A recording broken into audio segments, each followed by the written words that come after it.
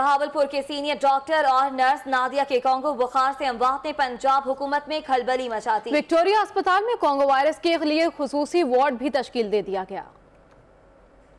Bahawalpur Victoria अस्पताल में एक हफ़्ते में कांगो बुखार से होने वाली दो अमवात ने पंजाब हुकूमत को परेशान करके रख दिया है। छह अफराद कांगो वायरस के शुबा में जेर इलाज भी हैं। लाहौर से तीन सीनियर डॉक्टरों की टीम भी सूरत हाल का जायजा लेने बहावलपुर पहुँच चुकी है। कराची के आगा खान अस्पताल में जेर इलाज विक्टोरिया अस्पताल के डॉक्टर सगीर की लाश उनके आबाई इलाके लोधरा पहुँचा दी गई जहाँ नमाज़ जनाजा की अदायगी के बाद उनकी तदफीन कर दी गई दूसरी जानब विक्टोरिया अस्पताल अस्पताल में कांगो वायरस के लिए एक खसूसी वार्ड भी तश्कील दे दिया गया है। बहावलपुर विक्टोरिया अस्पताल के तर्जुमान के मुताबिक विक्टोरिया अस्पताल के जेर इलाज तीन डॉक्टरों में कांगो वायरस की रिपोर्ट मौसू हो गई है। तीनों डॉक्टरों में कांगो वायरस मौजूद नहीं। डॉक्टर गुलजार बीवी एच डॉक्टर अवैस और डॉक्टर आलम कराची में जेर इलाज है। साथ ही रिपोर्टर महमूद जहीर के साथ सैयद माज इन ट्वेंटी न्यूज़, बहावलपुर।